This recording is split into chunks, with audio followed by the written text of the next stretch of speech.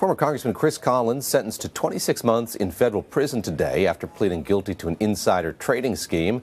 NBC News investigative correspondent Tom Winter joins me now. And Tom, take us back to, to where this began. It was on the White House lawn at a congressional picnic. But what was he accused of? What was he convicted of well, uh, and sentenced to today? Yeah, sure, David, you've set the scene perfectly. What happened was that uh, Chris Collins was on the board of a pharmaceutical company.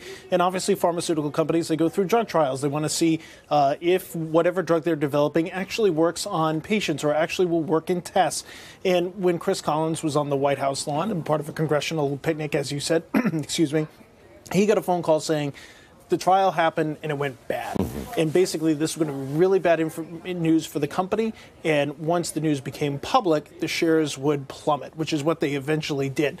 But there was going to be a hold on his shares. His shares were being held overseas where the company was located, but not on his son's shares. So for the next couple of days, it would not be known to the rest of us uh, that this trial had gone uh, gone poorly for the company. Picks up the phone, he calls his son, and he also had his uh, his future in-laws uh, actually own shares in this company as well calls his son and he says, "You got to start dumping the stock."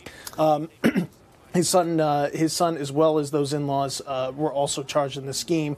Um, not a good moment for the congressman. Uh, a term of 26 months in prison. He's going to serve two terms concurrently here. How right. in line is this with what prosecutors want and what's usually uh, the sentence in something like this? The judge kind of split the middle here. So basically, prosecutors wanted almost five years uh, for what he did. They asked for the upper end of the guideline range, so, so somewhere certainly north of four years.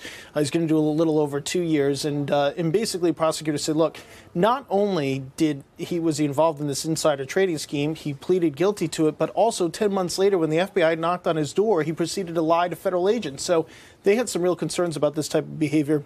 And they also don't want there to uh, seem like there's two justice systems, particularly for somebody who's they kept repeating is somebody who not only broke the law, but he was a person who wrote laws to begin with. So really, somebody who who absolutely should have known better. Do we know where he's headed? I know he has designs on going to Pensacola. Uh, his attorney said that's where he'd like to serve this time, if he it, could. And, and, that's what appears the judge is going to recommend. So uh, today, the judge handed down the sentence. Judge Broderick uh, told the court essentially they had asked for this Pensacola prison camp, uh, not exactly basically maximum security prison. Uh, so, uh, so basically, uh, it sounds like the judge is going to advocate for him uh, to go there, and that's where he'll likely serve his time. He moved to Florida uh, after leaving the the Buffalo area. Um, he was one of the first, if not the first, to endorse Donald Trump when he was running for president. Has the president weighed in on this whole process, on the trial and on the sentencing? We haven't really heard much from the president at all outside of when he was first indicted. Uh, so we haven't heard anything recently. Reporters outside of court today, I was there. Uh, reporter from Bloomberg asked him, Are you going to seek a pardon? Uh, he kind of gave a quick dismissal look to, to the group of us that were there. Um, so that we really haven't heard much from the president at all. I mean, the evidence here was incredibly strong. There were people that uh, had provided information, and just the electronic trading records in and of themselves are so damning. I mean, the records that are kept when you make a trade online, um, the amount of detail in those records is very strong. But when you make a trade in a stock as thinly traded as this mm-hmm. innate therapeutics was, it just sticks out like such a sore thumb to investigators.